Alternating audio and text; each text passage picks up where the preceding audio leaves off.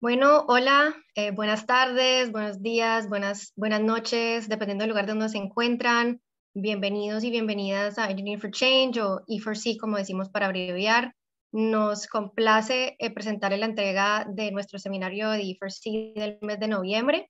Em, esta serie de webinars usualmente suceden eh, de vez en cuando cada mes y involucran ponentes de, todos los lugares del mundo para hablar de diferentes temáticas generales y de interés del público, desde temáticas de agua, energía, agricultura, hasta tecnologías de la comunicación.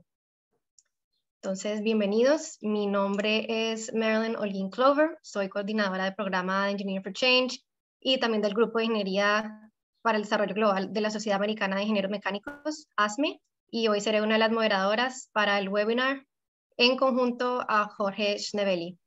Entonces, durante el webinar de hoy eh, van a poder conocer las innovaciones tecnológicas y proyectos de impacto que se han venido desarrollando durante los últimos años por expertos de la comunidad de E4C y de ASME en temas de agua y uso racional de la energía en Latinoamérica. Acompañándonos hoy tenemos varios integrantes y representantes del Instituto Nacional de Tecnología Industrial de Argentina.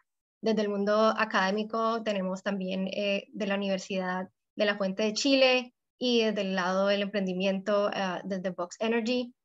Quiero em, darles una bienvenida a todos nuestros ponentes de hoy. Nuevamente, muchas gracias por acompañarnos. La grabación se archivará en nuestro sitio web y en nuestro canal de YouTube, así que estas URLs eh, se van a poder mostrar, eh, que se muestran aquí en pantalla, donde van a poder también observar la grabación del seminario de hoy. Em, y la información sobre cualquier otro seminario estará disponible en nuestra página em, y los miembros recibirán invitaciones de los próximos webinars, entonces están también bienvenidos a ser parte de nuestra comunidad. Si nos siguen en Twitter, por favor, únanse a nuestra, eh, a nuestra conversación con hashtags E4C Webinars. Antes de pasar a nuestros presentadores, me gustaría contarles un poco de Engineering for Change, somos una organización sin ánimo de lucro, de conocimiento y una plataforma digital y una comunidad de más de un millón de ingenieros, diseñadores, profesionales del desarrollo y científicos sociales interesados en utilizar la tecnología para resolver los desafíos de la calidad de vida en todo el mundo. Y algunos de estos desafíos incluyen, por supuesto, el acceso a agua potable, saneamiento, energía, sostenibilidad, agricultura y entre otros. Entonces los invitamos a ser parte de, nuestra comunidad, a ser miembros de E4C, que es, gratuito y esto les brinda acceso a noticias, artículos, una base de datos de más de mil tecnologías que se están utilizando y distribuyendo a lo largo de todo el mundo, además de recursos eh, de desarrollo profesional, oportunidades actuales en trabajo, convocatorias de financiamiento, becas y más. Los miembros de E4C también reciben invitaciones exclusivas a eventos regionales y en línea, así que eh, están muy bienvenidos. Cualquier, eh, cualquier cosa que quieran conocer más, si quieren conocer sobre nuestro impacto, también pueden visitar nuestra página eh, como la ven en pantalla. El trabajo que hace Engineering for Change realmente atraviesa geografías y sectores para ofrecer una visión ecosistémica de la tecnología para el bien social y para el medio ambiente. Y eh, tenemos un programa de pasantes que lleva a cabo esta investigación anualmente en nombre de nuestros socios y patrocinadores y que se entrega en forma de reportes que son digeribles por toda la comunidad eh, de una manera fácil y entendible. Entonces los invitamos también a conocer nuestra página de investigación, eh, como lo ven en pantalla, eh, Research, para conocer más de, las diferentes, de los diferentes proyectos que hacemos hoy en día y em, para, tener, para poder también explorar un poco nuestras perspectivas de campo, colaboración de, de investigaciones, también hacemos revisión del estado de lo que llamamos ingeniería para el desarrollo global, pero este tiene muchos nombres alrededor del mundo y dependiendo de la región en la que se encuentren, pero en últimas es eh, esta comunidad internacional queriendo eh, usar la tecnología y otras herramientas para realmente efectuar cambios. Entonces, eh, nuevamente están, están invitados a contactarnos. Y también, eh, antes de, de comenzar con la temática, queremos invitarlos a nuestro evento anual Impact Engineer, que va a suceder el 2 de diciembre. Están invitados a, esta, este evento que este año en particular va a ser una celebración de, nuestra comunidad, nuestros patrocinadores, eh, nuestros pasantes y también eh, todos esos, esos em, partners que tenemos alrededor del mundo que están realmente efectuando cambios y, haciendo estos todos esfuerzos para, para, realmente activar esta comunidad. También vamos a tener un, un, una ceremonia de, de, awards, entonces están invitados también a, a conocer y a ser parte de esto, involucrarse. Como pueden ver en pantalla, están bienvenidos. Registros gratuito en www.impact-engineer.org y los esperamos con mucho cariño. Ahora un par de instrucciones antes de comenzar.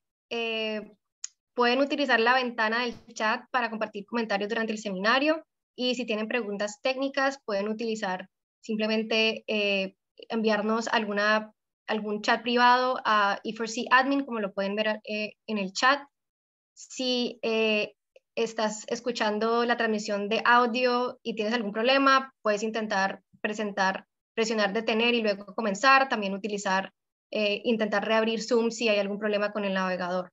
Durante el seminario vamos a utilizar ventanas, eh, pueden utilizar la ventana de preguntas y respuestas, ubicado también debajo y al lado del chat, para escribir preguntas específicas que quiera que sean abordadas por eh, nuestros ponentes y presentadores invitados.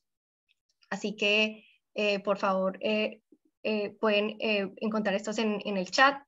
Y em, para antes de, perdón, antes de, de, continuar, quisiera invitar a los participantes a por favor escribir en el chat de qué lugar nos acompañan en el mundo, eh, especialmente eh, en el primer, en este primer, eh, esta primera versión de los webinars de E4C que tenemos en español. Entonces vemos que, bueno, alguien de Brooklyn, Nueva York, Estados Unidos, Ciudad de Panamá, Reno, USA, Delft, Países Bajos, Bogotá, Colombia, Encarnación, Paraguay, bienvenidos. Bienvenidos a toda nuestra comunidad. Córdoba, Argentina, bienvenidos. Muy, muy contentos de tenerlos todos aquí.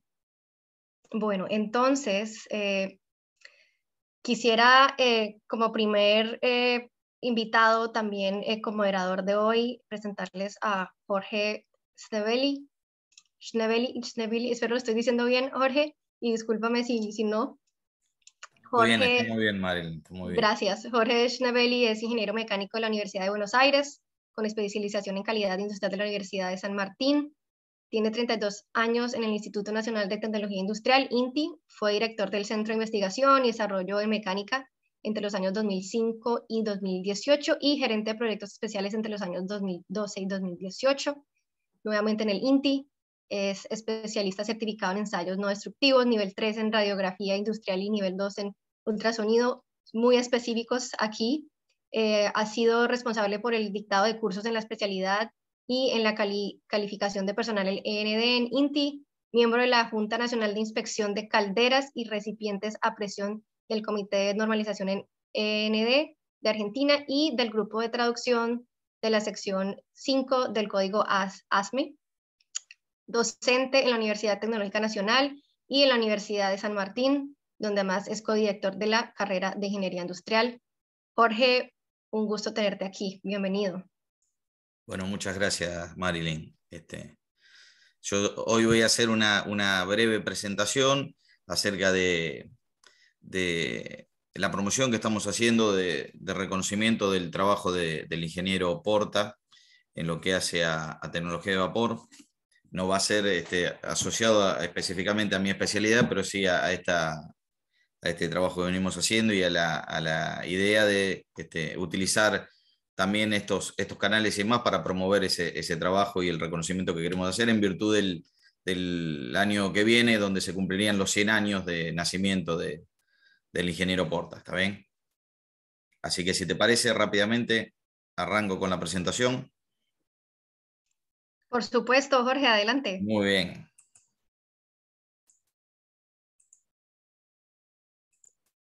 Bueno, ahí se ve bien. Sí.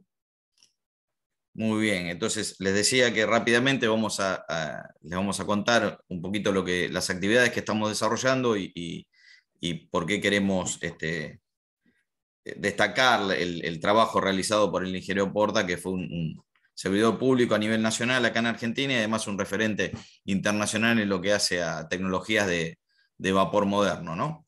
Este, el ingeniero Porta nació en, Paraná, en, una de las provincias del interior acá de la, República Argentina, en, el año 22. Eh, a raíz de, que el año que viene se cumplirían los 100 años, es que estamos promoviendo estas, todas estas actividades. Él en realidad era ingeniero civil, sin embargo se dedica a trabajar en, el ámbito de la mecánica y particularmente el vapor. Se forma este, con un referente histórico este, en, lo que es este, vapor, que es Andrés Chapelón. Eh, él en la, década del 50 conforma su familia, tiene una eh, interesante descendencia, ¿sí? se instala acá en la, ciudad de La Plata. Este, el ingeniero Porta tuvo muchas actividades, muchos desarrollos que hoy este, dan origen a muchas de las de las tecnologías vinculadas al vapor. Algunos de los desarrollos tienen que ver con el, sistema de, combustión, ¿sí? que acá comúnmente lo llamamos el sistema de la gasógena. Él en realidad este, le gustaba un nombre más técnico que tuvo muchas aplicaciones. Él particularmente lo, desarrolló trabajando en, ferrocarril, específicamente adaptando locomotoras en el ámbito de, de una localidad de Returbio, donde hay unas este, minas y una central hoy de, carbón. Trabajó en lo que tiene que ver con la cámara de combustión ciclónica, con cuestiones vinculadas también a más mecánicas, asociadas, por ejemplo, a, perfiles de, máxima adherencia en llantas y, también un trabajo muy importante en este, eh, muchas actividades vinculadas con lo que tiene que ver con tratamiento de agua, que eso eh, redunda en beneficios en, instalaciones de calderas y demás. ¿no? Este, en la década del 40, él hizo un desarrollo muy importante, que fue una locomotora muy, particular, bastante este, revolucionaria para la época, incluso en, las formas, digamos, ¿no? Eh, en donde se lograron muchas, muchos beneficios desde el punto de vista del consumo de combustible, de las prestaciones y demás, y donde aplicó este, comenzó a, desarrollar estas tecnologías que después fue, fue desarrollando a, través del tiempo. ¿sí? Es, un, es una, un ícono en la historia del, transporte ferroviario asociado a eso. ¿sí? En, particularmente en nuestra institución, el INTI, que es un organismo este, técnico, tecnológico de, naturaleza pública, ¿sí? En, Argentina el INTI es el responsable de todo lo que tiene que ver con la trazabilidad en las mediciones, es el Instituto Nacional de Metrología, todos los patrones nacionales están en el INTI, pero además es un organismo que trabaja mucho en lo que es transferencia de tecnología, sobre todo a la, pequeña y mediana industria. Está organizado en distintos centros. Él particularmente se encargó de desarrollar lo que fue el Centro de Investigación en, Termodinámica, hoy Centro de Energía, y trabajó entre los años 60 y, la década del 80, este, siendo responsable de ese área y, desarrollando muchas actividades vinculadas al uso racional de la energía también, ¿no? además de cuestiones vinculadas con el vapor. Es referente internacional porque sus trabajos se toman en todo el mundo, pero además él mismo estuvo trabajando y asistiendo a ámbitos privados y gobiernos en distintos lugares del mundo, en Sudáfrica, en Estados Unidos, en Paraguay, en Cuba, ¿sí?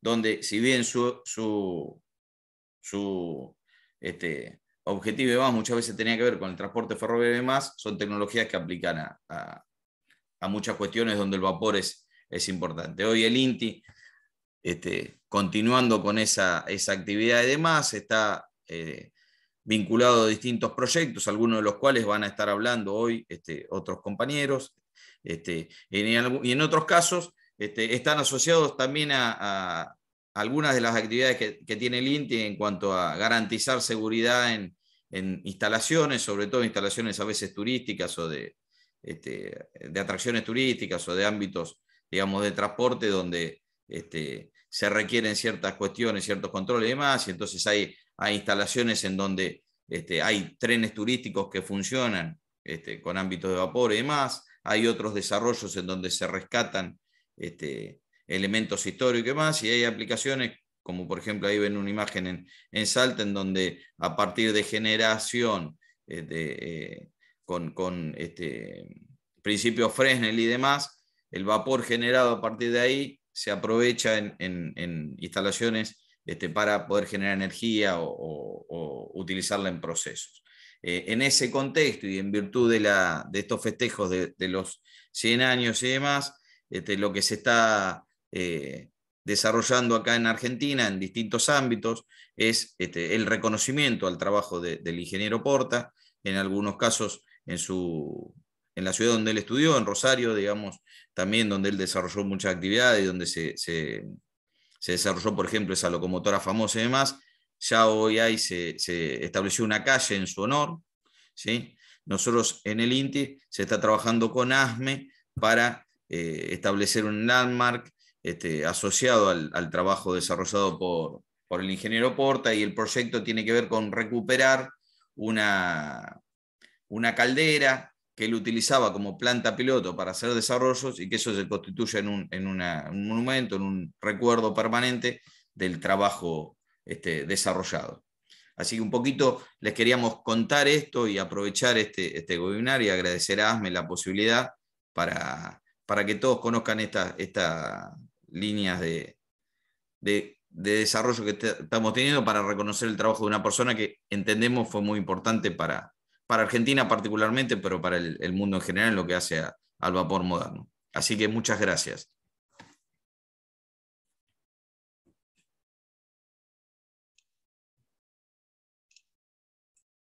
Muchas gracias, Jorge, por esa mención específica de los trabajos del ingeniero Porta y, y ese, ese rol impacto especialmente en la temática de hoy. Si puedes dejar de compartir pantalla, puedo introducir a nuestro siguiente ponente, Guillermo Baudino.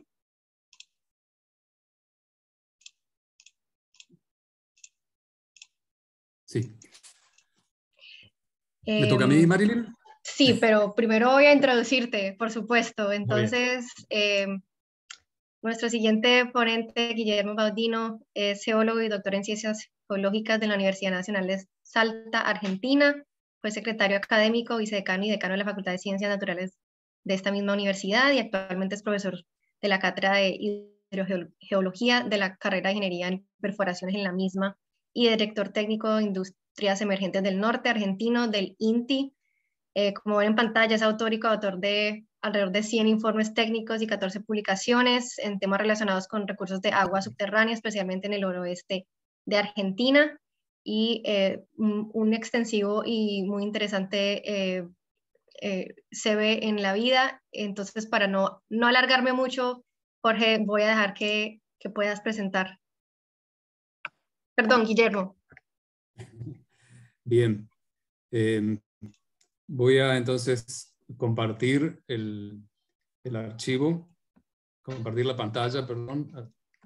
Vamos a ver si, si se ve. Tarda un rato en llegar la señal de compartir.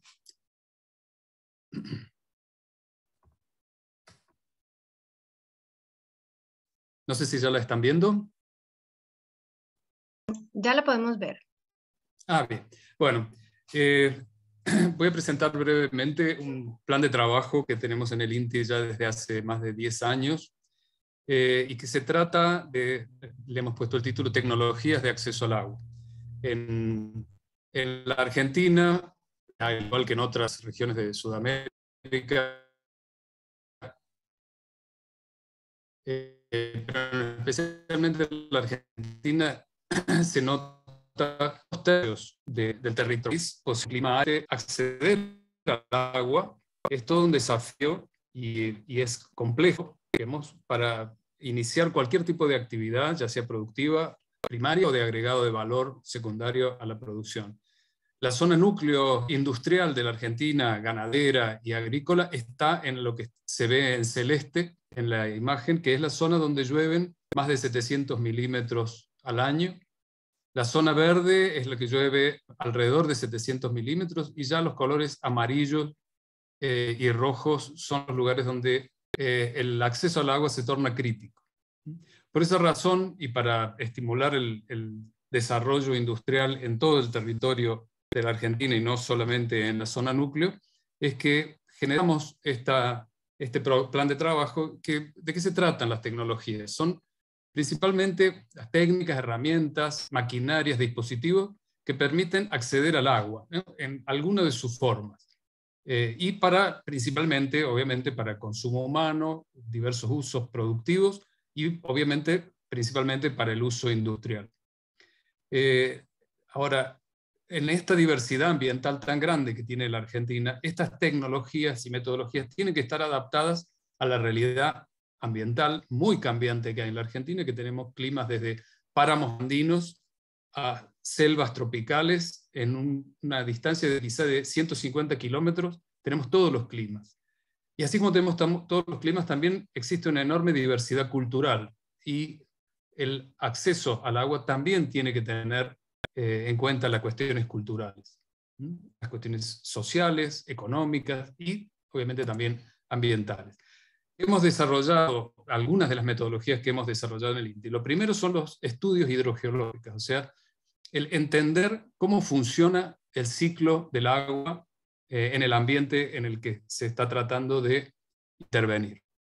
En función de eso, hemos desarrollado distintos tipos de, metodologías que vamos a ver brevemente ahora. Los pozos excavados y calzados con hormigón, los drenes horizontales, los pozos someros perforados con pala barreno, los pozos someros perforados con maquinaria liviana, los pozos profundos perforados con maquinaria pesada y las cosechas de agua de lluvia. Yo menciono solamente esto porque son quizás los donde más interviene una cuestión eh, tecnológica. ¿Mm? Lo primero que vemos eh, cuando abordamos una problemática de acceso al agua es el tema de la comprensión del ciclo hidrogeológico y, dentro de lo posible, la cuantificación del balance. ¿Cuándo ingresa, ¿Cuánto ingresa por, pérdida, por precipitaciones? ¿Cuánto se va por el escurrimiento superficial? ¿Cuánto se vuelve a la atmósfera por evapotranspiración? Y principalmente, ¿cuánto se infiltra y queda almacenado en el subsuelo? En el subsuelo, en general, en la Argentina en particular, están las mayores reservas de agua dulce con las que contamos. Prácticamente el, más del 90% de las reservas de agua dulce se encuentran en el subsuelo. Por eso, prácticamente todas las tecnologías que hemos desarrollado son para captar agua subterránea. Eh, para eso utilizamos la tecnología, por ejemplo, para las mediciones de eh, resistividad desde la superficie, que nos indican qué podemos encontrar en profundidad, y con esta información, sumada a la información de la geofísica que se hace en perforaciones, podemos reconstruir el subsuelo y poder detectar eh, los acuíferos que hay, eh, o sea, las napas, como se dice comúnmente, o sea, los embalses subterráneos que hay por debajo de la superficie. Las primeras tecnologías que figuran ya en la Biblia o en, o en este, textos de la Mesopotamia asiática y ni hablar en el imperio incaico y en, en, las culturas mayas y aztecas, han sido los pozos excavados para llegar al primer acuífero, a la primera napa. En ese sentido, desde el INTI lo que hicimos fue sistematizar el modo constructivo para que, por ejemplo, se pueda llamar una licitación como obra pública con esta metodología que es segura para los trabajadores que hacen este tipo de obras eh, en profundidad. ¿no? Para, las paredes van hormigonadas a medida que se avanza, con lo cual se garantiza la seguridad del operario. Cuando los acuíferos están en zonas montañosas, esto se puede conectar a la superficie aprovechando la, la topografía y utilizando tecnología de filtros y prefiltros adecuados, se puede obtener agua subterránea sin necesidad de bombeo, o sea, por gravedad, aprovechando las diferencias topográficas. En acuíferos ya un poco más profundos, eh, se pueden hacer métodos de perforación con eh, métodos manuales, como son las palas barreno, como la que se observa en la imagen de la derecha, y que estamos trabajando especialmente con comunidades originarias de la zona del norte argentino. En este caso se trata de eh, la comunidad Huichí, haciendo pozos en forma manual y entubándolos eh, con PVC para poder acceder a la primera napa hasta profundidades de 20 hasta 25 metros.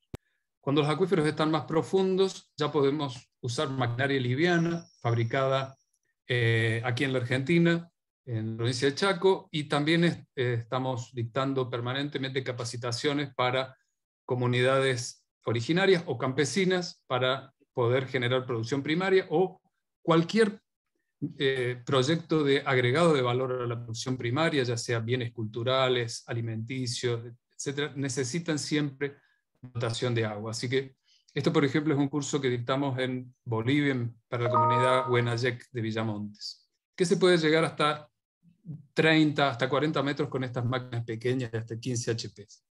Ya cuando los acuíferos están más profundos necesitamos eh, maquinaria más pesada y en general eso ya son empresas grandes eh, que se dedican a este tipo de trabajos, que tienen operarios calificados, pero en donde el INTI interviene en la parte de los estudios de factibilidad para la captación de acuíferos, no la parte de perforación, pero sí en toda la parte tecnológica del diseño, de la construcción del pozo y luego de los ensayos operativos. Este, por ejemplo, es el pozo en el parque industrial, en donde está radicado el INTI en Salta, que carecía de una dotación eficiente de agua, y el, el, ente parque industrial, digamos, pudimos asesorarlo al ente para tener una buena provisión de agua como la que se muestra en la foto.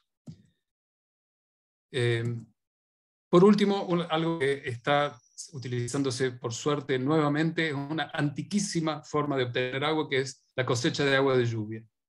A la izquierda vemos cosecha de agua de techos en un eh, salón de usos comunitarios en la zona de la llanura chaqueña en Salta y en la que es lo que justamente estamos llevando adelante ya con un poco más de digamos de alguna tecnología, pero sobre todo en la parte de capacitación y en el diseño de las obras.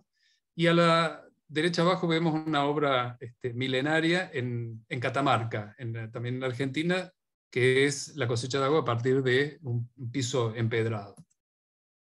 Y por último, no quisiera dejar de, decir que el agua en profundidad tiene un gran inconveniente eh, para llevarlo a la superficie, sobre todo en zonas rurales donde no se cuenta con energía eléctrica, que es este, la elevación del agua desde profundidad a superficie mediante bombas sumergibles este, accionadas con paneles solares. Esta foto me gusta especialmente porque es un sincretismo cultural entre una cultura ganadera como la, de la provincia de Catamarca y, un panel solar montado sobre una vieja rueda que permite al productor orientar el panel a donde mejor se da la radiación. Y a la derecha vemos un operario del INTI instalando una de estas electrobombas sumergibles para poder elevar el agua. Este es un tema importantísimo porque la falta de energía en, las zonas rurales es uno de los problemas más graves que hay para, para la producción. Así que bueno, nos hemos encontrado con tres problemas tecnológicos en este. Uno es el déficit de tecnologías específicas para el contexto socioambiental particular que tenemos que enfrentar. En general, las tecnologías están diseñadas en general para las zonas eh, núcleos, o sea, las zonas donde hay agua suficiente, donde hay electricidad y donde hay un ambiente tecnológico que facilita la implementación de tecnología. Para zonas alejadas hay poco desarrollo tecnológico. El segundo problema es que es el déficit de capacidades técnicas y de gestión de, de, las personas que viven en ambientes eh, digamos, alejados y en ambientes vulnerados. Eh, y por último, eh, el déficit de implementación de políticas públicas que lleven estas metodologías apropiadas a los lugares donde hace falta, con contextos ambientales y socioeconómicos diferentes. Así que ese es un poco el planteo que nosotros tratamos de enfrentar y poner a disposición de las políticas públicas metodologías comprobadas que funcionan, que se pueden ver en los lugares donde están implementadas y si funcionan o si no funcionan, por qué no funcionan. Ese es un poco lo que hemos tratado de hacer eh, con este plan de trabajo. Así que muchas gracias. No sé cómo anduve con el tiempo. Mucho. Gracias, Guillermo, eh, especialmente por darnos em, ese, ese, pantallazo de general de las tecnologías de acceso al agua desarrolladas en el INTI. Sí les voy a recordar a todos los ponentes eh, mantenerse los cinco minutos cada uno para, para poder ajustarnos al tiempo y tener un poco de tiempo al final para nuestra charla. Eh, y entonces en el interés de, de mantener el tiempo, eh, sé que todos ustedes tienen unas, unas biografías impresionantes que queremos resaltar, pero voy a ajustarme a, a, lo, a, lo, más corto. Entonces, em, y todos los participantes tienen, pueden ver la, el CV y la biografía de cada uno de nuestros ponentes invitados en nuestra página. Entonces, eh, no voy a presentar y leerles algo demasiado largo. Por el momento, quiero dar la bienvenida a Sean T. McMahon, ingeniero investigador y asesor interno del INTI y también miembro de la mesa de directores de ASME Argentina. Sean. Buenas tardes a todos. Uh, bueno, mío va a ser un poco más corto, creo que el de mi colega. Um, acá la verdad quiero que, uh, que quiero hacer es, es conseguir un poco que, que dijo um, Guillermo, Guillermo con respecto al, al, al, agua que tenemos acá en el, como país y cómo se traerlo.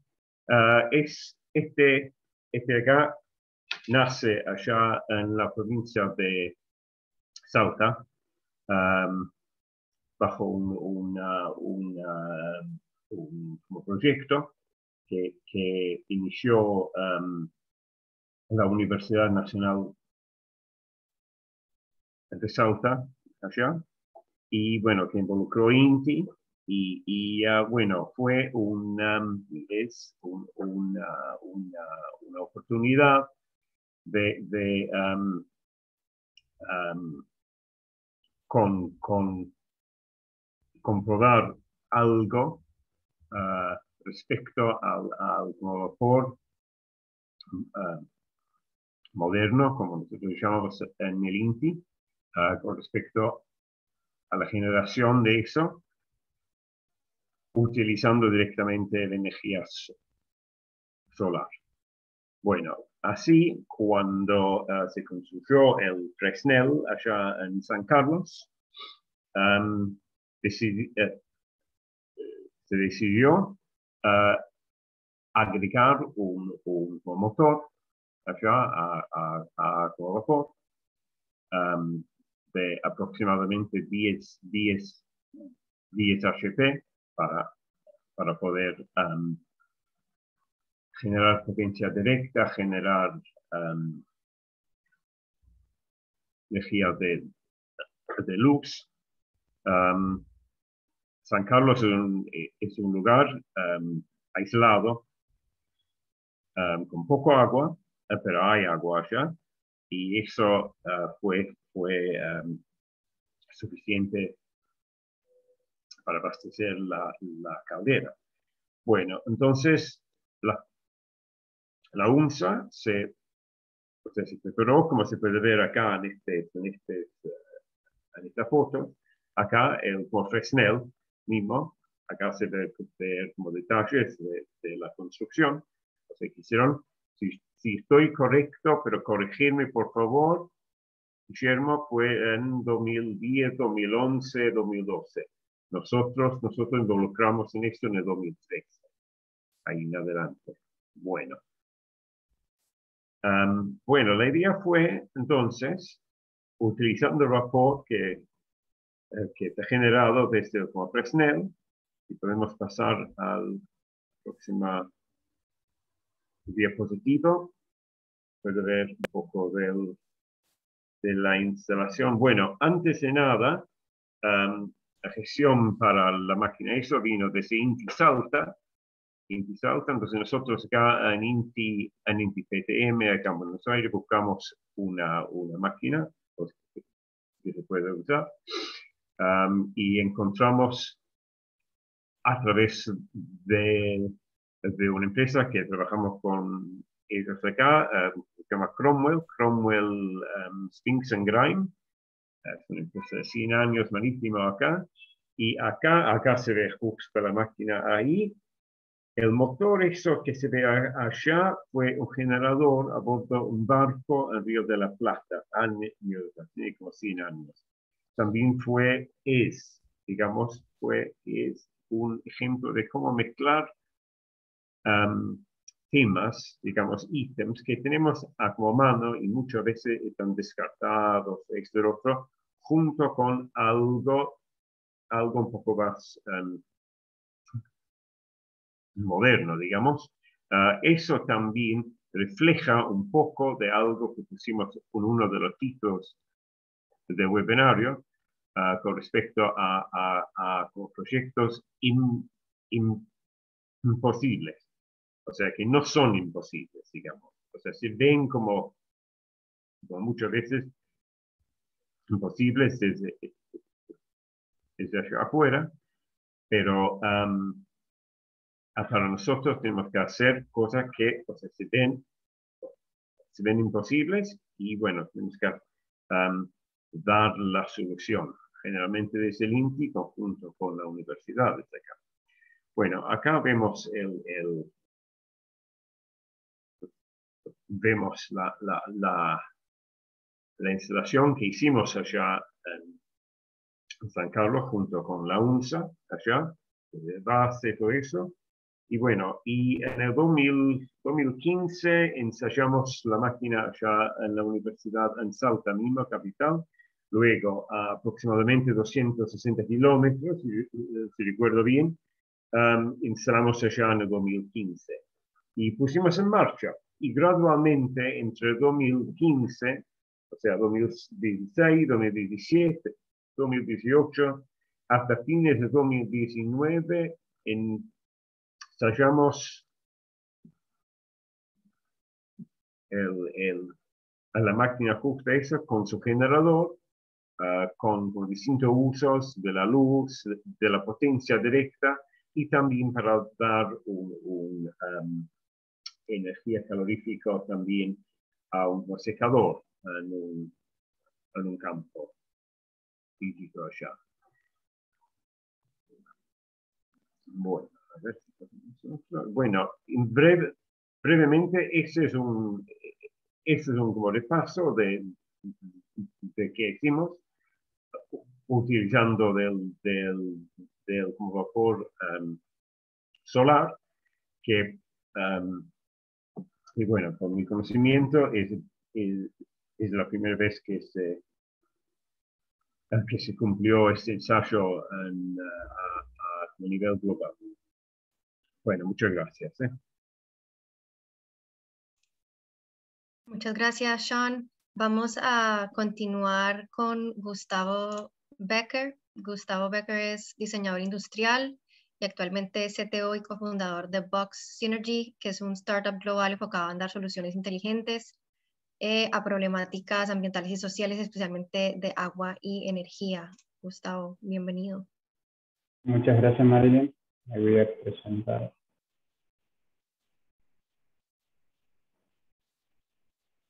¿Se está viendo? Sí, podemos ver tu pantalla. Muchas gracias. Bueno, yo soy Gustavo Becker, ¿cómo están todos? Eh, soy diseñador industrial y cofundador y sitio de Box Synergy.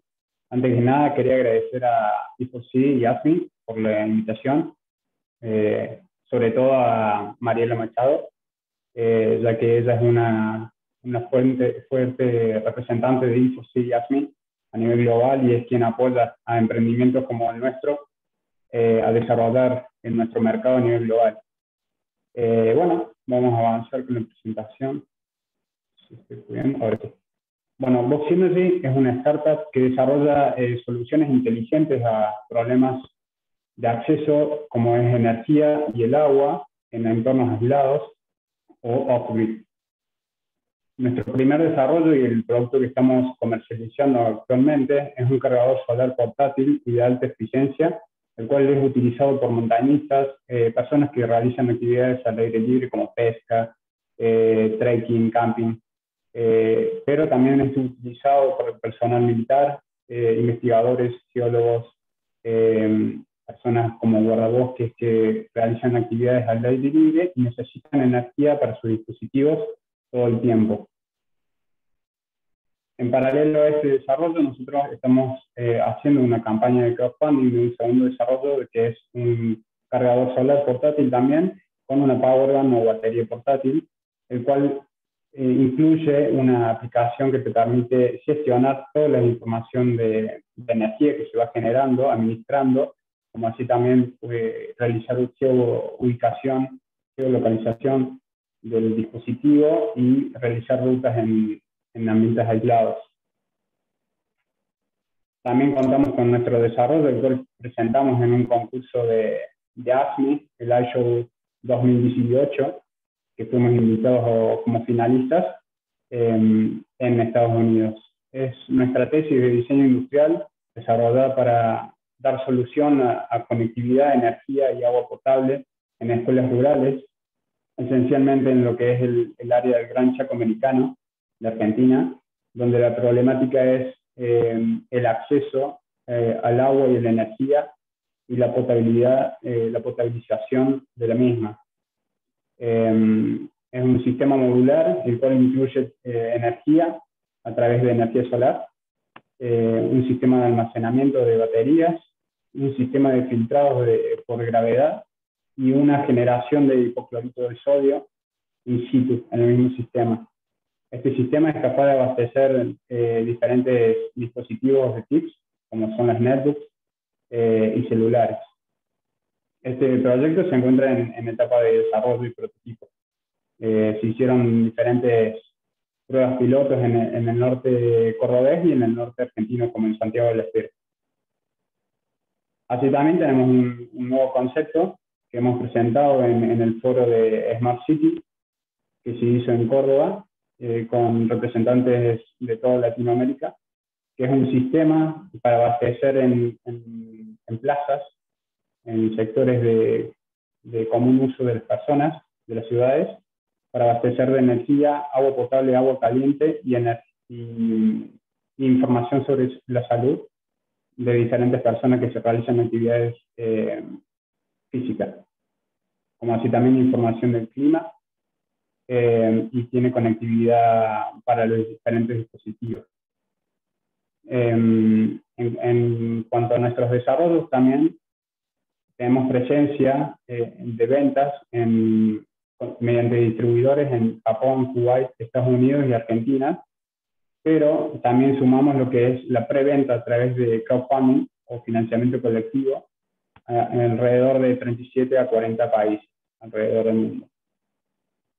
Nosotros también estamos desarrollando nuestros productos con el eh, objetivo de, de, aportar a estos objetivos de desarrollo sostenibles eh, que fueron desarrollados por la ONU.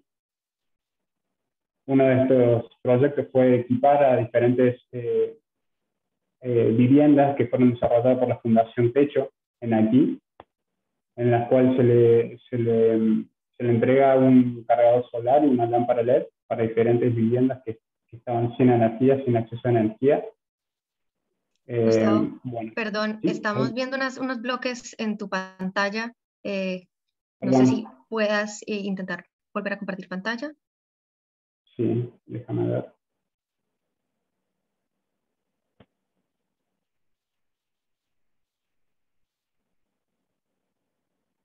¿Ahora? Perfecto. Bien. Otras de las de los, eh, actividades de impacto que realizamos eh, para las ODS fue un, proyecto de, de cine en, en, la Combi, un proyecto de Córdoba que se realiza en Argentina, que lleva cine a diferentes escuelas de, de toda Argentina y nosotros les proveemos de cargadores solares para estos proyectores. Como así también eh, desarrollamos en conjunto con, con un agente de, de ONU una acción en, de asistencia humanitaria con los cascos azules en Colombia. Lo que estamos realizando en las sierras de Córdoba, haciendo foco en, lo que es el, la reforestación de las sierras de Córdoba, en, particular eh, los árboles Polylepis australis, que son la fuente de, de agua de, de, Córdoba, de la provincia de Córdoba. Si bien hay como estaban hablando los investigadores previos, que hay acuíferos donde dentro de poco es, como que se va a ir perdiendo la, capacidad de estos acuíferos. Nosotros hacemos foco en, la causa, cuál es la causa de, la pérdida de estos acuíferos, de la, de la cantidad de agua, es la deforestación misma que se está llevando a cabo en las sierras de Córdoba. Por eso es que nosotros estamos llevando adelante esta, esta campaña de reforestación. Y bueno, esto fue todo. Muchas gracias por, por el tiempo y, y a ASMI por sí. Gustavo, muchísimas gracias por, por compartirnos un poco lo que hace Box Energy y desde esa perspectiva de desarrollo de tecnología. Vamos a ir a continuación con Carlos Omar Muñoz Poblete. Carlos es eh, ingeniero civil electrónico de la Universidad de la Frontera Temuco, Chile, y doctor en Ciencias de la Ingeniería, mención Automatización Industrial en la Pontificia Universidad Católica de Chile, y actualmente es investigador del Departamento de Ingeniería Eléctrica de la Universidad de la Frontera.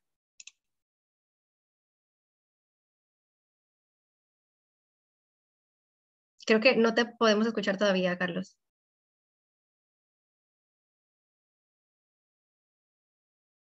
Ahora sí.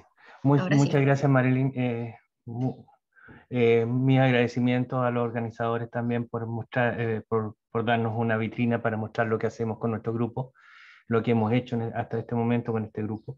Este grupo lo componemos gente de la Universidad de Chile, de la Universidad de la Frontera, y aquí hay algunos que quisiera destacar como Roberto Hernández, que nos dejó el año pasado, lamentablemente. él era nuestro sociólogo eh, eh, la verdad es que necesitamos gente de, de, muchas áreas para poder llegar a las comunidades. No, no, es, no es, fácil llegar a, a, hablar con, con, gente que tiene una visión de mundo muy distinta y, y, hay que llegar con mucho respeto, con, una, con, una cierta, con un cierto tiempo para poder lograr eh, hacer cambio. Y es, un, es, una cosa de, de bastante tiempo. El, la, la, los Mapu la, eh, los mapuches, bueno, en este momento hay, hay hartos problemas de emigración desde las zonas rurales al, pueblo y, mapuche es un problema porque significa la gente de la tierra. Eh, tienen una conexión intrínseca con, con, la tierra y ese, y ese desapego de la tierra genera, genera problemas que van mucho más allá de, de lo sociocultural. Eh, junto con nuestro trabajo eh, nos dimos cuenta de que ellos tienen un, cierto apego, una, un, un, link natural con, con, todos los sistemas de energías renovables y, con, y, el, y la conexión con la tierra no, no, no, podría hacer nada si no, no está el agua metida entre medio. Eh, son agricultores, son, son gente muy linda eh, y también tienen muchos muchos requerimientos, muchas necesidades. no sé si se escucha audio. Bueno. Eh, no, no, estamos escuchando nada, pero puedes volver a compartir pantalla, Carlos, y seleccionar la opción de audio para que escuchemos si eso es lo que deseas. No importa. Eh, yo les cuento, la verdad es que este audio era para mostrar un poquito el, esquema, unas fotos, unos videos de, de, dónde están las comunidades, cómo están insertas alrededor de la costa, por ejemplo, con, con vistas maravillosas eh, gente que, tiene, que ha vivido toda su vida en el campo, que tiene una conexión muy linda con, con, con el campo, eh, con temas de, de, electrificación. Aquí ven, ven, los postes que no les respetaron sus su, campos, sino que los instalaron cuando electrificaron en los campos. Y en la mayoría de las partes los postes se instalan por el camino. Eh, no, por el medio. Instalamos nuestras estaciones meteorológicas para poder medir y eh, determinar los recursos. Eh, vimos cómo se conectaban ellos con los colegios, con todo lo que estaba dentro de las comunidades para poder sacar los requerimientos desde adentro. Y todo esto para poder hacer un, un diseño coparticipativo con ellos. Voy a voy a ir hacia el modelo, este es el modelo general que nosotros seguimos, un modelo, modelo de diagnóstico participativo, donde sacamos aspectos técnicos eh, del medio ambiente, económicos, sociales, muchas entrevistas, entender lo que hacía cada uno de ellos eh, y también preguntarles, ellos tienen que participar, ellos tienen que mostrarnos qué es lo que necesitan. No es la idea ir a instalar una tecnología con una visión completamente externa y decirles esto funciona así y quédense con esto. No, la, idea es ver cómo nosotros metemos todo el diseño de la tecnología utilizando la, la, visión de mundo que tienen ellos. Es la única forma que esto puede funcionar y funcionar en el largo plazo. Eh, aquí hay algunos, algunos desarrollos que hicimos y están en las publicaciones. Si quieren ustedes pues, pueden revisar las publicaciones están en, revistas que son bastante reconocidas de la IEEE y de otros lados. Eh, eh, eh, instalamos una microred en, en, un centro comunitario que tenían para revisar, hacer un proyecto piloto pequeño de 3 kilowatts. y la verdad es que entendimos aquí que primero hay que partir con, con sistemas pequeños, no con sistemas grandes. Era la única forma de que esto podía funcionar. Eh, y las soluciones estas tienen un alto costo inicial. O sea, eh, si bien después el costo de operación es bastante bajo, el costo inicial es bastante eh, es alto. Por lo tanto, fue muy difícil articular a los diferentes organismos para poder generar estos recursos que permitían hacer esto. Y después nos empezamos, empezamos a trabajar con un tema de, de, de optimizar el uso eficiente de, de este link que está entre energía, agua y el manejo del sistema, a pesar de que ustedes veían que en, la presentación, en una de las presentaciones que el, el lado de Chile está, es, un lado muy, muy húmedo, eh, el cambio climático también afecta. Y el cambio climático no dice que llueve menos, sino que llueve mucho por muy cortos periodos y después hay, hay periodos largos de sequía. Y esos periodos largos de sequía son brutales cuando se trata de agua. Eh, y ese es un problema. Eh, bueno, nosotros a partir de esto eh, estamos instalando un invernadero tecnificado con, con todas las conexiones, logramos articular que se colocara internet de banda ancha en todos lados, ahí incluso en las escuelas que están muy aisladas y, otro tipo de cosas, pero la, la, verdad es que hoy día la tecnología nos permite generar un nexo entre este, esta visión de mundo que es muy propia de, de esta gente y, y, lo que tenemos nosotros, pero no es llegar y colocarlo. Tenemos que hacerlo con una visión desde ellos, trabajar con, con, con gente eh, que ha estado aislada de, de, de, las redes eh, durante mucho tiempo, no es, no, no, es llegar y hacer un cambio brusco sobre todo si ellos tienen una cosmovisión, una visión de mundo que es muy distinta a nosotros. Aquí tenemos algunos de nuestro grupo eh, y bueno, muchas gracias a ustedes por darnos esta vitrina y también a todos los que hemos logrado articular y que nos han pasado algunos fondos para poder generar pequeños aportes en estas comunidades. Muchas gracias. Carlos, muchísimas gracias por también contarnos esa perspectiva, trabajos universitarios y desarrollo de tecnologías con comunidades indígenas como los mapuches en Chile, eh, que creo que eh, en otros países también nos, nos, nos sentimos eh, identificados, como es necesario siempre tener, tomar en cuenta esas, esas perspectivas de la comunidad con la que se, se trabaja cualquier tecnología. Entonces, em, Creo que vamos a pasar ahora a, una, a la sección de discusión moderada. Em, y Jorge va a ser eh, aquí nuestro, eh, vamos a estar Jorge y yo liderando esta pequeña parte. Tenemos varias preguntas, ¿cierto, Jorge, para, para nuestros invitados? Tenemos algunas preguntas para, para como disparadores, este, Marilina, sí. Este, hacemos, profundizamos un poquito en lo que estuvieron exponiendo, ¿no? Este, y comenzamos, si te parece. Claro que sí. Muy bien. Tenemos ahí una, pregunta para Carlos, considerando, digamos, eh, la perspectiva de él, que viene trabajando en comunidades mapuches y demás. Eh, bueno, ¿cuál es el rol que él piensa tiene que jugar el acceso a, estas tecnologías que se describieron hoy? Eh, en el mejoramiento de la calidad de vida ¿no? de las comunidades rurales, de, condiciones de, pobreza, ¿no? cómo diseñar estas tecnologías para que, solucionen problemas y me parece muy interesante esa, esa mirada de hacerlo no solo desde cuestiones tecnológicas o técnicas específicas, sino considerando este, bueno, idiosincrasias y características propias, ¿no? Sí, yo creo que lo, fundamental es, entender un poquito cómo ellos ven el mundo, eh, trabajar con una comunidad. Eh, hay que pensar que estas comunidades, en realidad, se llaman comunidades porque eh, viven como, a ver, como te dijera, en en un, en un,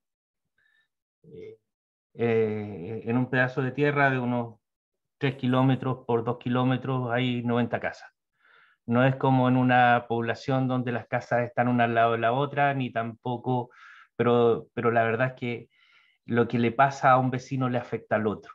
Y ellos tienen una, una ligación cultural que tiene que ver con que vienen de una familia común antigua, por lo tanto todos comparten más o menos la, eh, algún apellido, tienen, tienen una historia común, están organizados con un líder, un lonco, un jefe, están organizados por un presidente de la comunidad, etcétera que son instancias que han, los han obligado a hacerlo desde el punto de vista tradicional, pero también desde el punto de vista interno.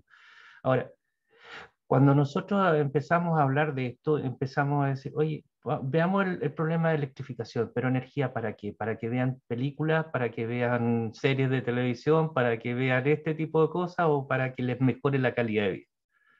Y en ese sentido, eh, vimos una, una posibilidad de, de, que si teníamos que colocar un, sistema ahí, teníamos que meter un sistema de comunicaciones, por ejemplo IoT, ¿ya? metido dentro del campo, para comunicar ciertas cosas, para comunicar los equipos entre sí.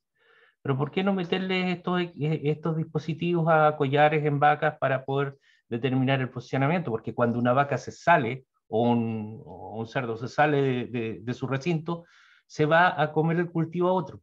Es un problema entre vecinos.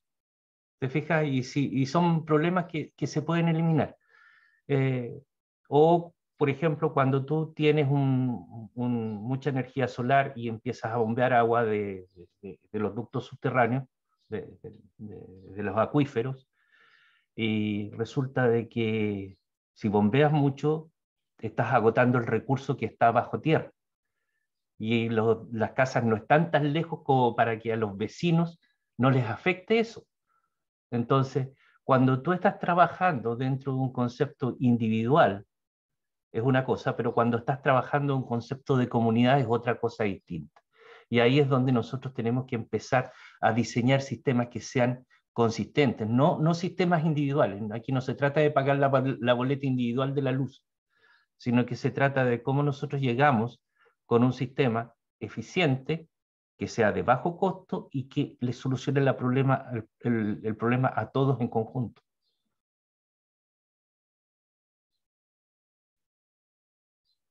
Sorry. Perdón, perdón, estaba. El moderador apagó el, micrófono, entonces no se, no se escuchaba. Bueno, este, muy bien, Carlos. Bueno, vamos a volver después entonces sobre, sobre, esa, sobre esa cuestión, digamos, ¿no? de la sostenibilidad. Pero ahora quería preguntarle a Gustavo, eh, desde la perspectiva de él como, como tecnólogo, ¿no? Este, ¿Cuál te parece que tiene que, ser el rol que, deberían jugar los tecnólogos, los diseñadores, para implementar las, tecnologías, digamos, nuevas existentes, digamos, en contextos reales, locales, ¿no? Desde tu punto de vista, los retos, si vos puedes comentar algún, alguna experiencia asociada a, retos y oportunidades, digamos, que vos pudiste identificar en esta, esta implementación, ¿no? Sí, Jorge, mira, así como decía Carlos, que bueno, habría que investigar bien sobre cuáles son estas vivencias o, cómo es la cultura de estas comunidades, cómo se relacionan con la tecnología y cómo se, se podría introducir una nueva tecnología para aplicarla.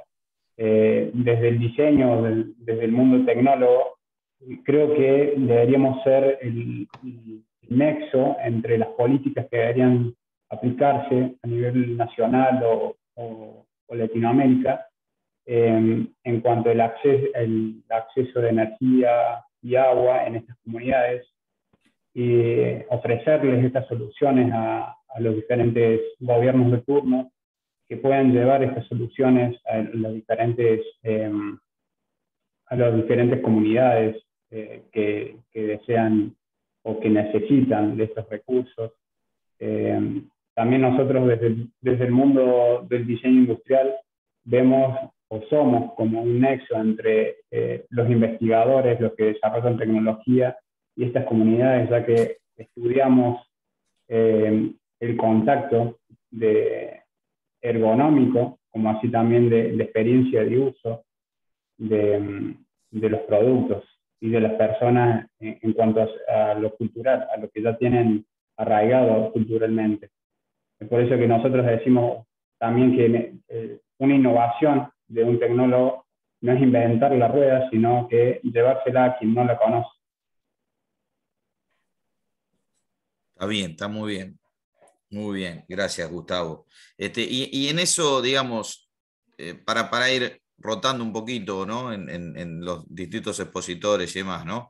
Este, para, para preguntarle a Guillermo, digamos, este, considerando, digamos, también este, las características de nuestra región y demás, ¿no? Y si ven, hubo avances tecnológicos en lo que tiene que ver con, acceso al agua y demás, este, por lo que vos describías y demás, y lo que describen el resto de acá de, panelistas, hay, hay, varios retos, digamos, en la implementación dentro de esos contextos particulares. ¿sí? Entonces, vos cómo, cómo visualizás acá en, en Latinoamérica, digamos, que se puede reducir el déficit que hay de, tecnologías específicas, considerando estos contextos socioambientales nuestros, ¿no? Sí, es un desafío, como dijo Gustavo, digamos, nuestro trabajo como tecnólogos, por un lado, es desarrollar tecnologías nuevas, novedosas, fantástico, pero también yo considero muy importante, igual que Gustavo y, que Carlos, que esas tecnologías lleguen a, a, todos los que necesitan. O sea, en los últimos, por lo menos 40 años, yo lo que he visto eh, en campaña, diríamos, es un deterioro terrible de las condiciones de vida de una fracción cada vez más importante de la población, eh, que está totalmente alejada de los beneficios de la tecnología. Entonces, eh, la mayor parte de las tecnologías que se desarrollan actualmente en el mundo moderno son tecnologías de punta para mejorar la calidad de vida de mucha gente que ya tiene una buena calidad de vida.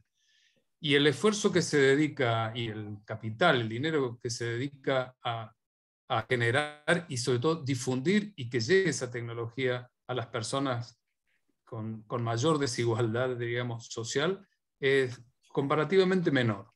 Entonces, creo que eh, un poco también con lo que decía Carlos, me, preocupa en lo que hace a, los reservorios de agua subterránea que comentaba Carlos, que hay casos, ¿no es cierto?, donde el aprovechamiento de, de las, del agua subterránea, debido, al, por ejemplo, a la incorporación de energía, se hace más fácil para algunas personas y se produce una sobreexplotación, una sobreextracción de, del agua. En ese caso, también hay un aporte tecnológico importante para hacer en lo que hace a la medición del nivel de agua en el subsuelo y con las comunicaciones a la transmisión de esos datos en forma automática para poder hacer un monitoreo en tiempo real. Digamos, eso, ese tipo de soluciones tecnológicas no es que no existan, existen. El problema es que no les llega a la gente que lo necesita. Yo confío en que eh, digamos, en nuestra institución, por ejemplo, lo hemos venido practicando a las dos cosas en el índice, ¿cierto? Desarrollar tecnología de punta y hacer extensión eh, para que esa tecnología llegue a, a, la mayor cantidad de gente posible. Digamos, creo que es una de las, de las funciones de los tecnólogos, una de las tantas, pero creo que los que estamos acá la vemos como, como muy importante y me parece que, que esa, nuestra opinión, diríamos, eh, al hacerse fuerte y compartirla, me parece que es muy importante también poder, poder difundirla. Disculpa, Guillermo, una, una consulta. Mira, eh, tú dijiste que se, se mide eh, los pozos que, que, están, en la mayoría se mide y se puede compartir la información. Pero eso no es tan habitual. Mientras más, si, si, podemos medir en, la mayoría de los pozos, e incluso los pequeños, y compartir la información, la cantidad de información que se puede juntar para poder hacer un buen modelo de qué pasa subterráneamente es extraordinario. Hoy día estamos a puertas, estamos con el nivel de tecnología, eh, eh, estamos con las soluciones tecnológicas disponibles, pero tenemos que ejecutarlas y ese es un, es un desafío que tenemos todos los tecnólogos. Eh, tenemos que cuidar no solamente lo que está sobre la tierra, que es un pequeño porcentaje del agua, del agua dulce que hay, sino que el agua que está bajo la tierra, que ese es quizá el más grande potencial y la reserva más grande que tenemos. Sí, el tema eh, en este sentido, Carlos, es, es, notable. Quizás vos lo conoces, quizá alguna otra persona en, este auditorio lo conoce, pero la mayor parte de los decisores, los que toman las decisiones, los que deciden sobre los presupuestos y la asignación de recursos, no conoce esta realidad. Ese es el problema. Bueno, ahí me parece que es interesante en esto de manejo de información y datos, cuando, cuando hoy estamos hablando de industria 4.0 y manejo de, de Big Data y demás, muchas veces no lo relacionamos con estos ámbitos de aplicación y en donde este, tiene infinita cantidad de, recursos y, de aplicaciones y que uno a veces solo se lo piensa en, desarrollos tecnológicos asociados a robótica, inteligencia artificial y demás, pero que claramente tienen, tienen aplicación en, estos ámbitos, ¿no? que esto que están, están describiendo ustedes, y es también responsabilidad nuestra ver cómo eso lo, lo bajamos y lo, lo relacionamos con este, con este tipo de actividades que hace a, las necesidades diarias, sobre todo en nuestras, en nuestras comunidades y en nuestras regiones. ¿no? Este, ahí eh, quiero preguntarle a Shaun, que Shaun viene de, un ámbito, digamos, variado de, asistencia. Él estuvo en distintos hemisferios norte, hemisferio sur, haciendo transferencia de tecnología, trabajó en África, hace unos muchos años que está acá está acá en, Argentina y demás. Bueno, él cómo, cómo, ve desde su experiencia eh, eh, la forma, digamos, de cómo hacer esta transferencia de tecnología considerando estas características específicas de cada país, de cada región, ¿no? Este, ampliamos un poco, después vamos a volver un poquito a esto que, veníamos hablando de, sustentabilidad, ¿no? Pero, Sean, vos, ¿qué, ¿qué características viste desde tu experiencia en las distintas regiones donde hiciste transferencia, ¿no? Bueno, Jorge, es una buena pregunta, eso porque, mira, justo la última semana estoy con un tema uh, allá en Reino Unido, donde el año 93 en adelante hicimos algunos cambios, sé, con el, como por um, moderno, ¿no? Para, para uh, bajar costos, aumentar uh, eficiencia, etcétera, etcétera. Y en el último año han hecho una desmodificación, es decir, han retrocedido hacia, o sea, es, es, es, interesante. Y, y, y, y, antes, el, webinar eso también que tenemos hoy, Marilyn sugirió eh, el, el, título de, de como proyectos imposibles. Bueno, en fin, o sea que yo veo con, a ver, con, con, eh, con experiencia ya en, eh, en, el hemisferio norte un poco, luego en el hemisferio sur, ya en Sudáfrica por cinco años y ahora 23 años creo acá, que la verdad acá, o sea, o sea, principalmente en Argentina, pero también en otros países regional, la apertura de mente para aplicar la tecnología es, es mucho más grande, es muchísimo más grande acá, acá, digamos. Y eso también influye en muchos países, otros países en el hemisferio sur. Como hay otro ejemplo ah, de una locomotora que tenía tecnología, trabajó en el servicio por 21 años, recién el otro día entró servicio de nuevo allá en Sudáfrica con la gasógena y otro tema son, son, ah, son dos, a ver, son dos proyectos específicos ya en Australia y otro en Nueva Zelanda que están utilizando la tecnología desarrollada acá en, acá en Argentina. O sea, este es mi punto de vista en este, este momento. Es decir, que acá, en vez de hablar los temas, nos hacemos. O sea, nos, realmente nos, um, nos aplicamos. Lo, más, más, desestructurado acá para, para poder encarar cuestiones. Exactamente, Jorge. Esto es, claro, es, esto es importante, porque sin, sin la mente, a ver, sin la mente abierta no se puede avanzar, no se puede. Muy bien. Bueno, y, Gustavo, te, pregunto a vos desde, tu mirada, ¿no? También, y desde un ámbito eh, privado, digamos, como, como es el, que vos te, te, movés y demás, ¿no? ¿Cómo, ¿Cómo considerás para vos que tendría que ser una, integración ideal entre los actores? ¿Está bien? Para que haya una mirada más bien integral, holística, en cuanto a la, a la innovación, ¿sí? Este, sobre todo referido a, las comunidades más, vulnerables de nuestra región. ¿no? ¿Qué, cuál, sería para vos una integración ideal entre los distintos actores?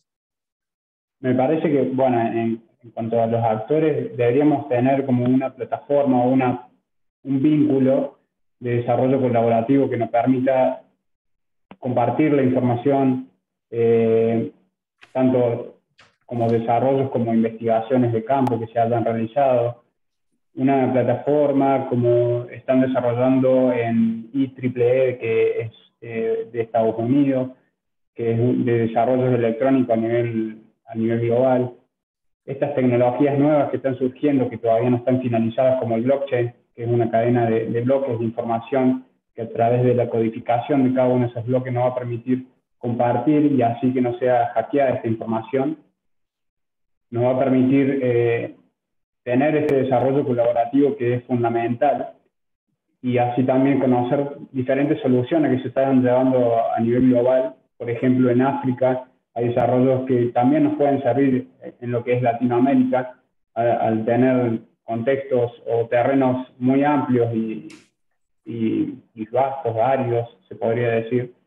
Em, me parece que esa es una, una forma de, de darle solución a esta conexión entre los diferentes medios. Muy bien. Bueno, y, Carlos o, Guillermo, digamos, ambos pueden, me parece, porque tienen este, también actividades este, similares y una mirada este, parecida, digamos, en cuanto al rol de los tecnólogos, digamos, ¿no? En el, desarrollo de, de, tecnologías y demás.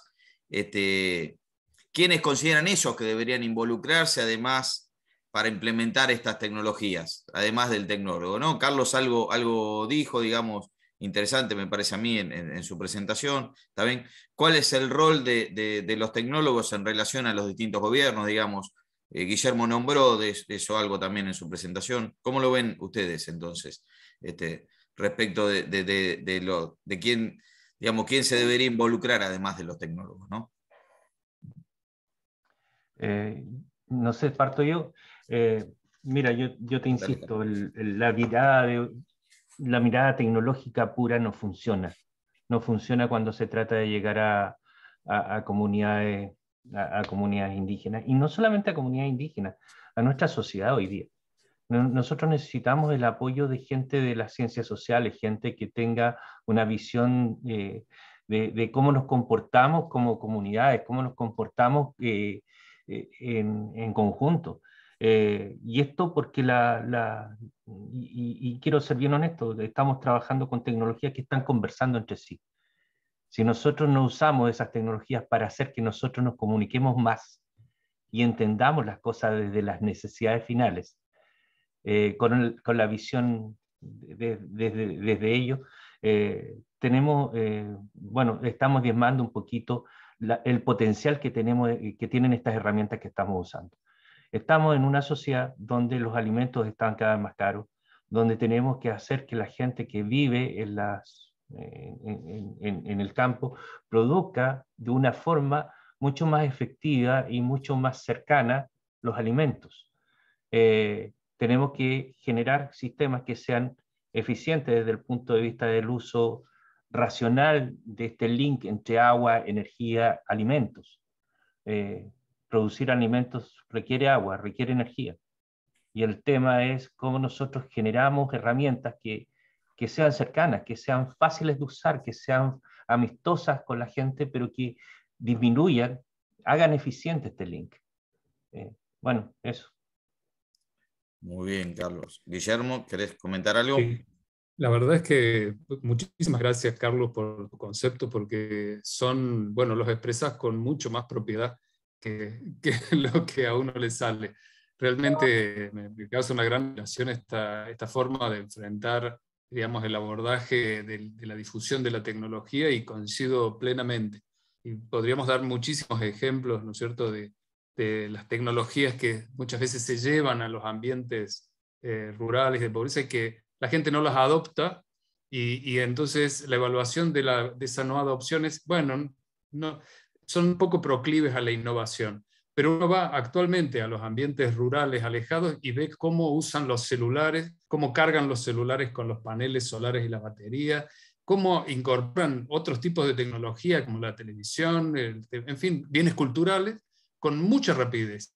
Y, y los mamotretos este, tecnológicos que a veces se han llevado están eh, arrumbados y juntando tierra y se han hecho inversiones muchas veces millonarias en, en tecnologías que, digamos, como decimos nosotros, rascan donde no pican. Y eso eh, quizá, un, yo, estamos enfocados ahora en el ambiente rural, pero vos tocaste un tema importantísimo que es el tema alimentario. Estamos, yo considero en Latinoamérica, en una, en una grave crisis de, nutricional, o sea, de malnutrición. Eh, eso por lo menos en la Argentina eh, lo sabemos, lo vemos en, en, los jóvenes, en los niños, con casos más, cada vez más frecuentes de obesidad, de diabetes, de enfermedades vinculadas a la nutrición. Y la, buena alimentación tiene muchísimo que ver con lo que vos decías, con la producción de alimentos sanos y naturales en ambientes cercanos a las grandes concentraciones urbanas que tenemos en Latinoamérica. Tenemos un proceso de urbanización eh, de la población eh, extremo en Latinoamérica y en gran parte se debe a la falta de condiciones dignas de vida en las zonas rurales. Entonces, nuestro rol como tecnólogo, por ejemplo, es, como vos decías, generar tecnologías para la producción de alimentos sanos que impliquen para el trabajador digamos, una mejor calidad de vida. ¿Cuántas veces vemos, si lo veamos en los ambientes rurales, trabajadores rurales con una salud deteriorada por, el propio, por enfermedades laborales? Porque los tecnólogos se han ocupado en hacer grandes cosechadoras automáticas de 20 surcos para, cultivar soja en forma totalmente automatizada, pero para sembrar lechugas se siguen sembrando las lechugas y plantando las lechugas como hace 5.000 años.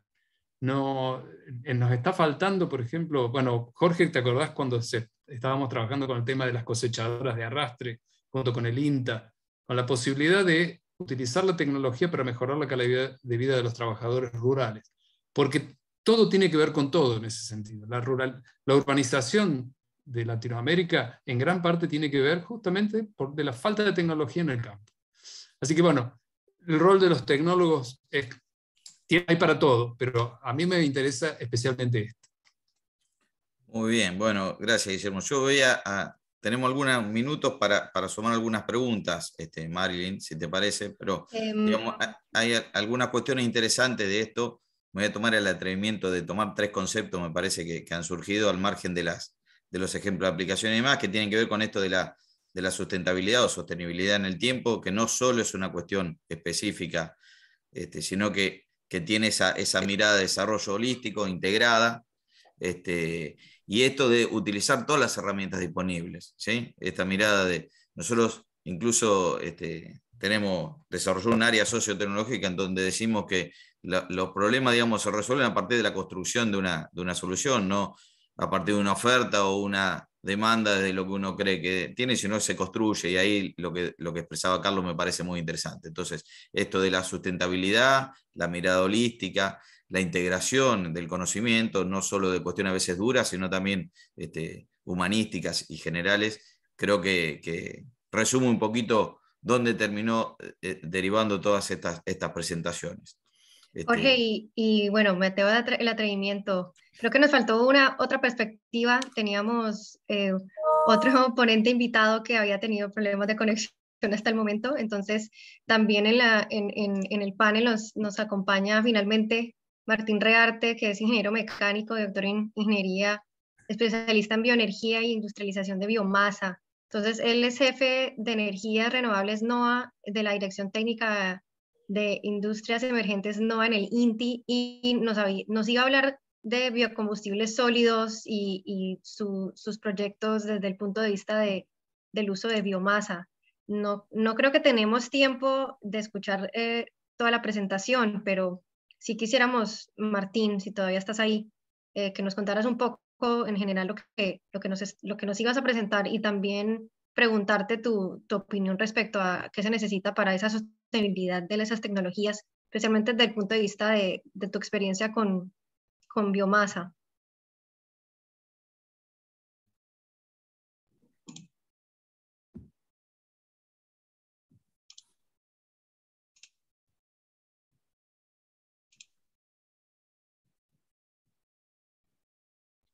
Y sí tenemos a Jorge. Sí, sí. ¿Está, está Martín ahí? A ver. Martín. Hola. Ahí está Martín. Ahí está. Martín, yo estoy compartiendo la pantalla de tu presentación. Bien, me prestaron una computadora acá en la universidad. Bien, bueno, es cortito. Este, así por lo menos les queda la noción. Nosotros estamos trabajando desde, bueno, obviamente la Dirección de, Industrias Emergentes eh, y el Departamento de Energías Renovables, tratando de utilizar y impulsar el uso de biomasas en Argentina para ciertas aplicaciones que nos parecen estratégicas. Argentina es históricamente un país productor de, eh, es un productor agroindustrial, ¿sí? Y toda la, producción primaria en nuestro país está asociada a una eh, biomasa residual que hoy por hoy no está siendo aprovechada. Tenemos un gran recurso biomásico y tenemos por otro lado territorialmente necesidades energéticas básicas de la sociedad que no están siendo cubiertas. No, no todos tenemos acceso a los troncales de gas natural, incluso la energía eléctrica. Y de hecho el INTI con el INTA o la FAO, diferentes organismos han mapeado la oferta que hay de estas biomasas que se pueden utilizar para, eh, para la generación de energía. De hecho, eh, se conoce que más del 50% de la población a nivel mundial no tiene acceso a fuentes de cocción eficiente y se sigue utilizando la leña para sobrevivir, básicamente.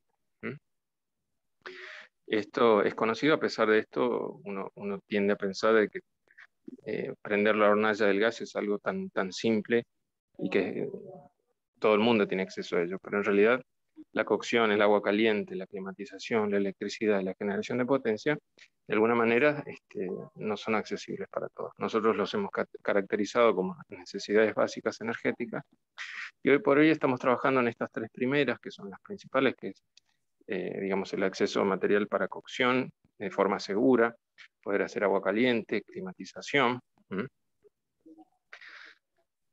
Así que son cuestiones eh, básicas. ¿sí? Hoy por hoy, eh, incluso si bien en el norte de Argentina eh, tenemos un invierno muy cortito, hay otras partes en el país donde si no tenés calefacción directamente no podés vivir, no, no se puede vivir en invierno.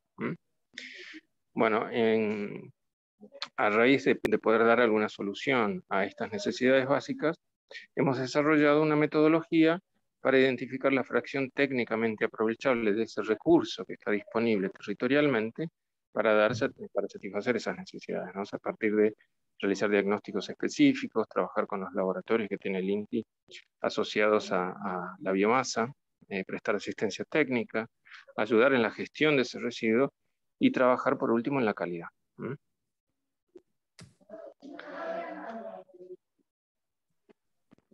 Ahí está. Bueno, hay un par de fotitos, el laboratorio, en los trabajos de asistencia técnica, de capacitación en industrias y en pequeñas pymes. Hemos trabajado en la normalización. Y hoy por hoy el laboratorio trabaja bajo tres eh, ejes principales, que es el laboratorio de biocombustibles, la asistencia técnica a las pymes y metalúrgicas eh, locales, donde se hacen diagnósticos en esa generación de la biomasa, se implementan herramientas de calidad, en el laboratorio se caracterizan esas biomasas y se trabaja en darle un marco normativo, así que ese, residuo que antes se consideraba residuo pase a ser un recurso gestionable y aprovechable por todos. Y en el laboratorio se están haciendo trabajos de diseño de pequeños equipos de combustión, ya sean estufas, sean quemadores de pellet. Tenemos un banco de prueba para todos los pequeños, este, las pymes metalúrgicas que hoy están haciendo una estufita, están haciendo un, un calefón a leña, bueno, poder darles pautas y cuestiones que son críticas eh, para poder utilizar este recurso de forma segura, ¿no? segura y eficiente. ¿Cuáles son estos objetivos que, que tenemos, digamos, dentro de esta metodología?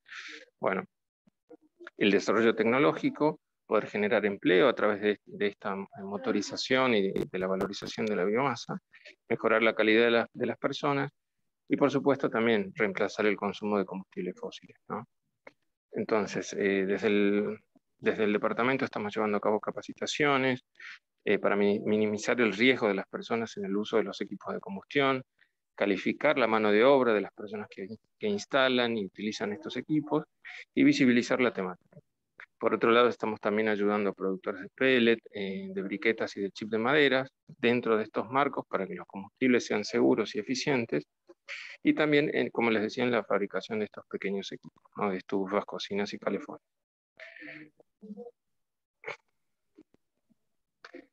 Bien, bueno, las líneas de trabajo que hoy tenemos activas y estamos trabajando es en la peletización, es decir, en el densificado de diferentes tipos de biomasa, ya sea de la cáscara del maní, del desmote de algodón, de residuos forestales, para eh, tratar de aprovecharlo localmente, ya que la logística siempre es cara. Eh, también estamos trabajando en la gasificación para generación de energía eléctrica en algunos módulos que son para uso de aplicaciones agrícolas, para llevar electricidad a lugares donde la red no lo, puede, no lo permite. Eh, estamos trabajando con aparatos de combustión y en algunos casos un poquito más avanzado eh, en la producción de etanol de primera y segunda generación. Bueno, ahí están las fotitos nada más, así que eso puedes pasar para que se den una idea de las tecnologías.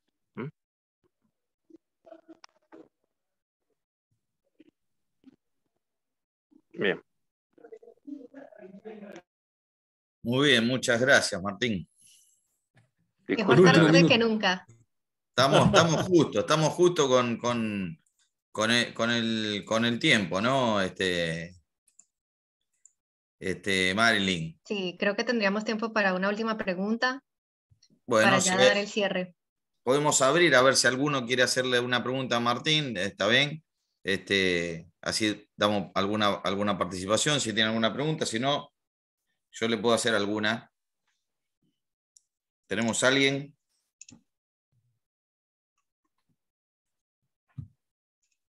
Bueno, le vamos a preguntar entonces a Martín, ya que está similar a lo que habíamos preguntado antes, ¿no? ¿Cómo, cómo eh, manejan el tema de la, de la, sostenibilidad de los recursos naturales asociados a, a estos desarrollos, si bien eh, lo que describe también tiene que ver con el aprovechamiento de, recursos que otros descartan, ¿no?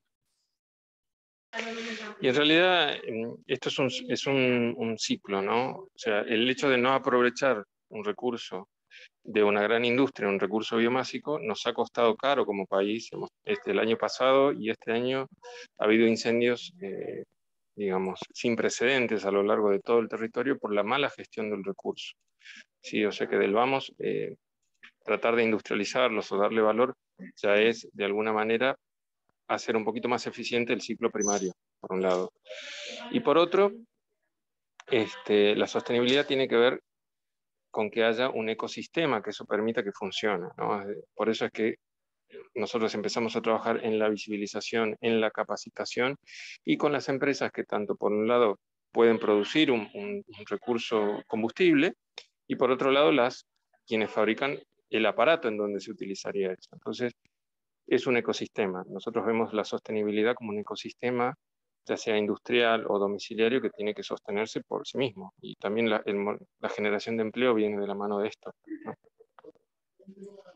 Muy bien, volvemos entonces a mirada holística general, ¿está bien? Y la verdad que me surgieron un montón de, de consultas asociada también al, al rol de, la, de, las autoridades de aplicación, de los gobiernos y demás. Pero bueno, estamos en tiempo, Marilyn, así no, no, no pasamos lo, lo pautado. Perfecto, sí, em, ya, ya estamos un minuto pasados del tiempo. Eh, increíblemente esta hora y media pasó bastante rápido, eh, a pesar de que le habíamos puesto nuestro seminario más largo hasta el momento, precisamente porque conocemos en Latinoamérica tenemos demasiado de qué hablar. Em, entonces, eh, para darle cierre hoy, em, quisiera primero que todo agradecer a todos nuestros invitados de Argentina y Chile. Muchísimas gracias eh, a los ponentes por, por su tiempo y también a todos los participantes, a todos aquellos que nos acompañan. Muchas gracias por asistir. Eh, este fue lo que pudimos hacer en el tiempo dado. Sin embargo, esperamos que esta conversación continúe más allá de este foro. Si tienen preguntas, por favor, em, escríbanos a webinars at engineeringforchange.org. No olviden, por favor, eh, convertirse en miembros para recibir más información sobre nuestros próximos seminarios y están súper cordialmente invitados a registrarse y acompañarnos en nuestro evento Impact Engineered el segundo de diciembre. Entonces, muchísimas gracias por asistir a todos. Muy bien, muchas gracias. gracias. Marilyn. Muchas gracias. Por la Gracias. Gracias. Hasta luego. A todos.